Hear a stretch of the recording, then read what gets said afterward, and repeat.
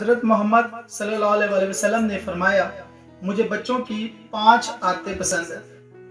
वो रोकर मांगते हैं और अपनी बात मनवा लेते हैं। वो मिट्टी से खेलते हैं और गरूर और तकबर खाक में मिला देते हैं। जो मिल जाए वो खा लेते हैं, ज़्यादा जमा करने की हवस नहीं रखते। लड़ते हैं, झगड़ते हैं, सुलह करते हैं। दिल में हसद बुग्स और कीना नहीं रखते। मिट्टी के घर बनाते हैं खेल कर गिरा देते। वो बताते हैं कि दुनिया बाकी रहने वाली नहीं है, बल्कि खत्म होने वाली।